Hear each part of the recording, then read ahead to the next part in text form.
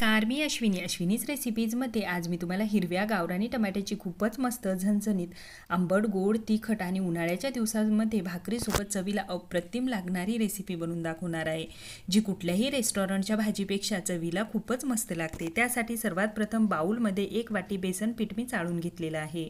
त्यामध्ये चवीपुरतं मीठ हळदी पावडर लाल तिखट आणि दोन चार दाणे जिऱ्याचे घालायचे आहेत.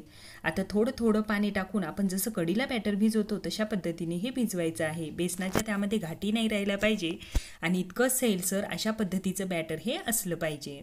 तर या ठिकाणी दुसरीकडे गॅसवर मी कढईमध्ये तेल टाकून घेतलेलं आहे. तेलाचं प्रमाण तुम्ही कमी जास्त करू शकता. तेल गरम झाल्यानंतर त्यामध्ये मोहरी आणि जिरं घालायचं आहे.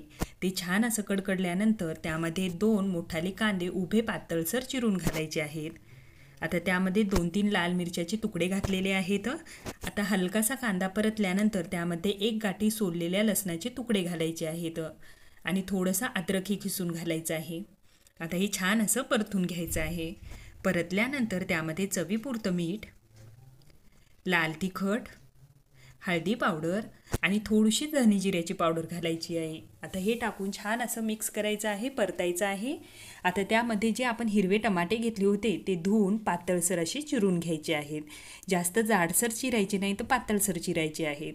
त्यामध्ये थोडीशी साखर किंवा गूळ घाला. टमाटे हे गावरानी आहेत त्यासाठी थोडंसं गूळ किंवा साखर घालायची आहे. आता छान असं हे परतून घ्यायचं आहे. आता मिक्स झाल्यानंतर झाकण ठेवून आपण हे दोन मिनटापर्यंत वाफू द्यायचं आहे. जोपर्यंत टमाटे नरम होत नाहीत आणि तेल असं छान असं वर येत नाही तोपर्यंत आपण हे परतून घ्यायचं आहे. तर या ठिकाणी पाहू शकता टमाटे छान असे नरम झालेले आहेत आणि तेलही वर आलेलं आहे. आता यामध्ये थोडीशी कोथिंबिरी घातलेली आहे छान असं मिक्स केलेलं आहे. आता त्यामध्ये आपण जे बेसनाचं बॅटर बनव बनवून घेतलं होतं ते बॅटर त्यामध्ये अशा पद्धतीने घालून घ्यायचं आहे. आता सर्व बॅटर टाकल्यानंतर त्यावर कोथिंबिरी टाकायची आहे बारीक चिरून आणि झाकण ठेवून हे बारीक गॅसवर तीन मिनटापर्यंत होऊ द्यायचं आहे. याला खालीवरी करायचं नाही. आता छान हे बारीक गॅसवर झाल्यानंतर पाहू शकता किती मस्त असं हे सेट झालेलं आहे आणि छान असं वर तेलही आलेले आहे आणि तेल तीन मिनटामध्ये छान असं हे तयार होते. तर जशा वड्या पडते तशा पद्धतीने बेसन या ठिकाणी झालेलं आहे. तर हे छान आपण मिक्स करून घ्यायचं आहे. म्हणजे त्याचे छोटे छोटे असे तुकडे झाले पाहिजे. हे पहा अशा पद्धतीने. तर या ठिकाणी थोडीशी त्यावर मी कोथिंबिरी टाकून घेतलेली आहे. झटपट अशी ही रेसिपी तयार झालेली आहे.